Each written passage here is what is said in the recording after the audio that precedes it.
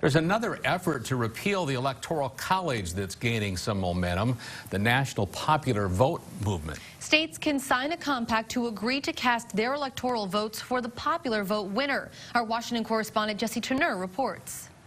It's even more important now. Tennessee Democrat Steve Cohen says the deadly riot at the U.S. Capitol strengthened his push to abolish the Electoral College. We've never seen a case more descriptive and more scary than this one where the politicians tried to control the election of the president over the will of the people. Cohen says Congress's role in the election process is unnecessary. It allows the House of Representatives and the Senate to possibly get involved in how the election is determined. That should never be the case. Cohen reintroduced his constitutional amendment this week to replace the Electoral College with a popular vote system. If, if everybody's vote counts and counts equally, candidates would go to every state. I think their votes count now. John Malcolm with the Heritage Foundation argues abolishing the Electoral College would give more power to larger, more liberal cities. You would end up having a lot of states who have very important interests that are involved uh, in elections their voices would be completely marginalized, if not ignored completely.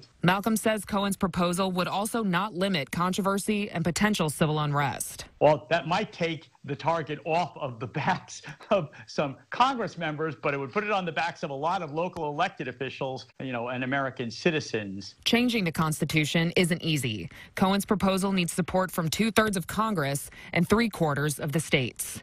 In Washington, Jessi Turnure, KCAU 9 News.